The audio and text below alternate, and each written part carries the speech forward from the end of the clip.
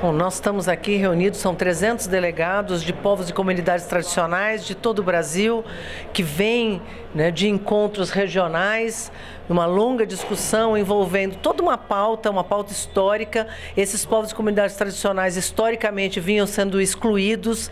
A partir de 2004, eles, a gente criou a comissão, eles passaram a ter voz, a se organizar e com isso passamos a incluí-los fortemente em políticas públicas. Graças a isso, por exemplo, nós temos hoje como comemorar 40 mil pessoas que tiveram concessão de direito real de uso, toda a construção da agenda de luz para todos, que é uma das agendas e pautas estratégicas desse encontro, a própria questão de, de avançar na agenda de regularização fundiária e acesso a serviços públicos, a, fora a própria questão da organização desses povos e comunidades. Então, a ideia é que a gente possa avançar no detalhamento dessas pautas e que a gente consiga também é, construir uma agenda que supere o preconceito que ainda existe uma grande maioria desses povos e comunidades tradicionais. A comissão foi extremamente fundamental para inserir esses povos nas políticas públicas, né? Fala um pouquinho para a gente da reestruturação. Acho que um, um, dos objetivos do encontro é reestruturar a comissão, como ela vai acontecer.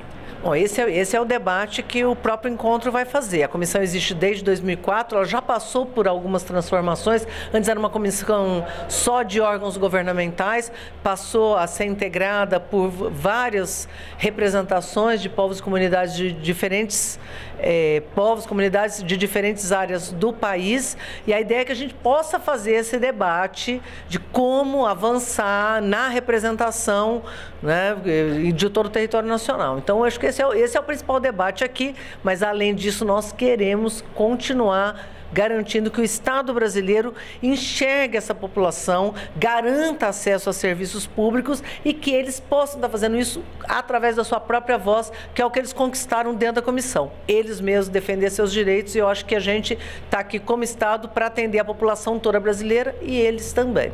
Ministra, só uma última pergunta. É, um dos principais pontos das pautas dos povos e comunidades tradicionais é, é, além da retirada do PL 7753, se eu não me engano, também a questão da, da, regulamentação fundiária e também participação popular. De que forma que o Ministério recebe aí essas pautas? Esse, essas pautas são pautas do governo, essa é uma comissão intersetorial.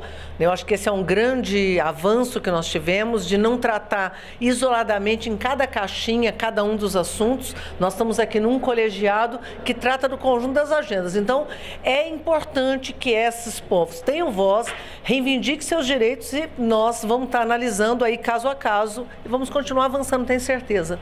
A senhora citou a regularização fundiária. Que outras políticas públicas destinadas aos povos tradicionais foram feitas aí durante esse tempo, desde 2004? Quais a senhora destacaria? Olha, eu destacaria a agenda das cadeias de produtos da sociobiodiversidade. Nós construímos a política de garantia de preços mínimos para produtos da sociobiodiversidade. Isso foi um avanço enorme, porque antes o Estado brasileiro só tinha preço mínimo para commodities, ele passou a ter preço mínimo para um conjunto de produtos né, desde é, cocos, é, frutos, frutas.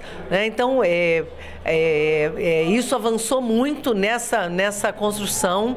Segundo, nós passamos a comprar no programa de aquisição de alimentos e no próprio PNAE. Hoje tem escolas pelo Brasil que compram produtos da biodiversidade, pescado, né, mariscos, frutas. Isso é bom para todo mundo, é bom para os povos e comunidades tradicionais, mas é bom também para as nossas crianças que podem é, ter acesso a alimentos de qualidade diversificado e também adequados à cultura de cada uma dessas regiões.